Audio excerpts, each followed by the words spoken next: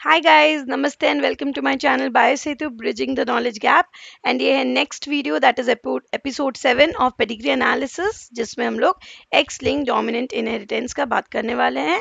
In the previous video हम लोगों ने autosomal dominant and autosomal recessive complete किया था। Now we are going to see in this video about X link dominant कि उनके क्या फीचर्स होते हैं, क्या पॉइंट्स होते हैं, क्या प्रॉपर्टीज़ होते हैं ओके तो अगर आपने सब्सक्राइब नहीं किया मेरे चैनल को please do subscribe to my channel and bell icon press करना मत भूलिएगा ताकि आपको अपडेट मिलते रहे मेरे जो भी वीडियोस मैं अपलोड करूँ उसकी।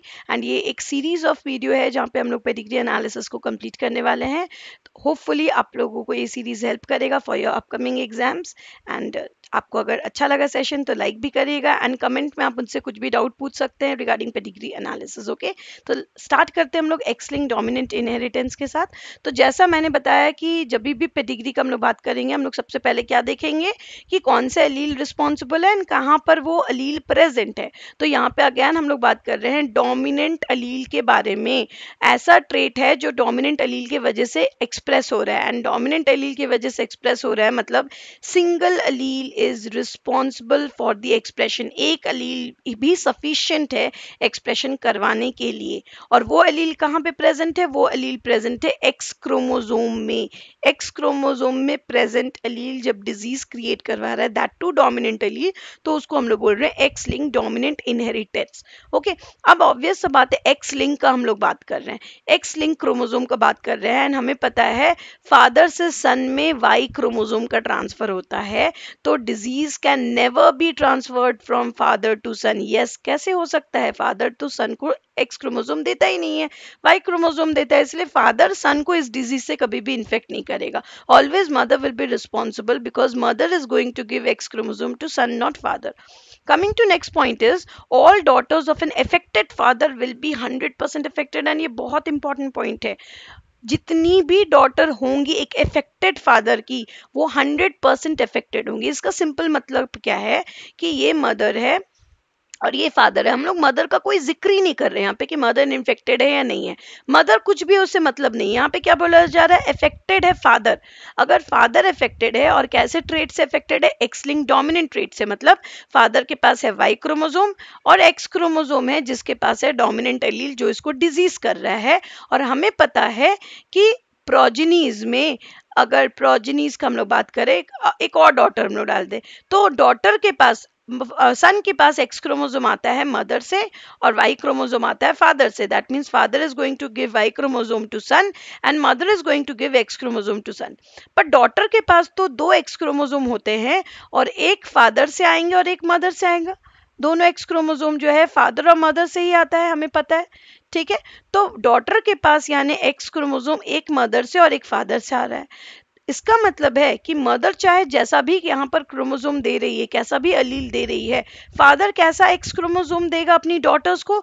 इन्फेक्टेड वाला एक्स क्रोमोजोम डोमिनेंट वाला X chromosome and we know क्योंकि ये डोमिनेंट ट्रेट है, एक भी अलील आ गया डोमिनेंट तो कैसा हो जाएगा? Expression will be rejected that means mother चाहे रेसेसिव दे डोमिनेंट दे, अब उससे कोई मतलब ही नहीं है। If father is affected hundred percent daughter is going to get affected because father have one X chromosome that too affected वाला X chromosome and that father is going to give that X chromosome to daughter और daughter affected हो जाएगी। भले mother उसको affected X chromosome दे या नहीं दे सिंस ए डोमिनेंट ट्रेट का ज़िक्र कर रहे हैं हम लोग यहाँ पे तो एक भी फादर से मिल गया डोमिनेंट अलील तो डॉटर्स विल गेट अफेक्टेड भले मदर उसको डोमिनेंट दे या रेसेसिव दे इट डजेंट मैटर तो हमेशा ध्यान रखना है कि अगर फादर अफेक्टेड है तो daughter will be hundred percent affected ठीक है? अब यहाँ पर एक और बात आती है कि अगर हम लोग बोले कि डॉटर इज़ अफेक्टेड देन क्या father will be also affected क्या father will be hundred percent affected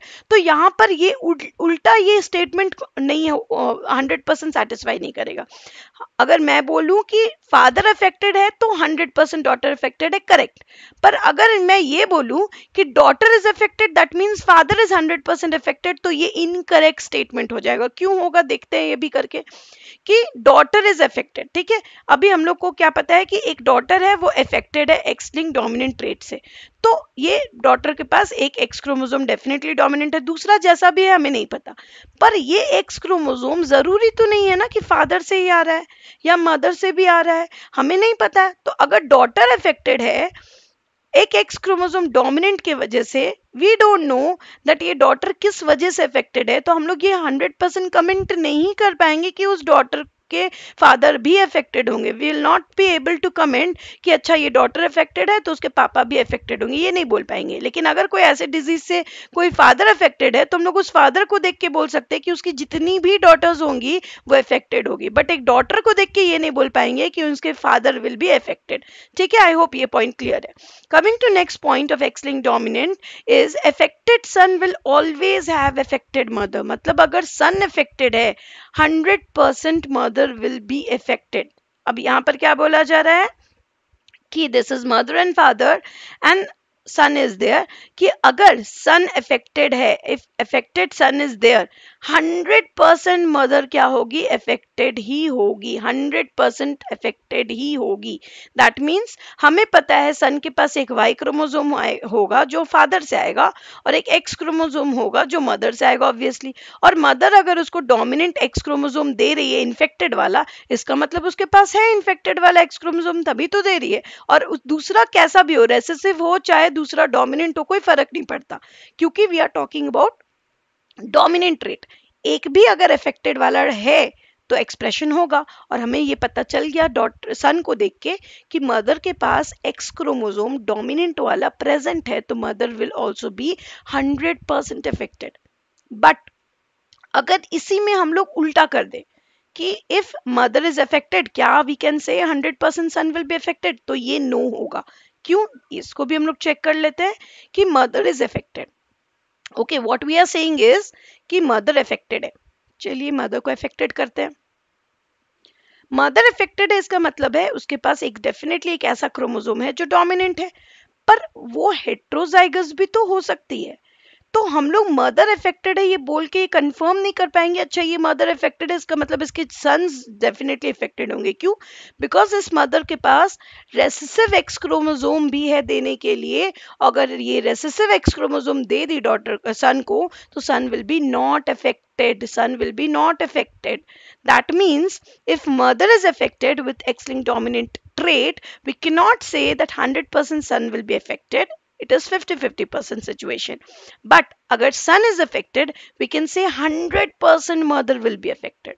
Because son ke paas x chromosome kidhar se aaya mother se aaya mother ke paas hai matlab affected hai. So this is what we want to say with this. And obvious baat hai dominant trait ka jab bhi baat karenge to carrier formation to hoga nahi.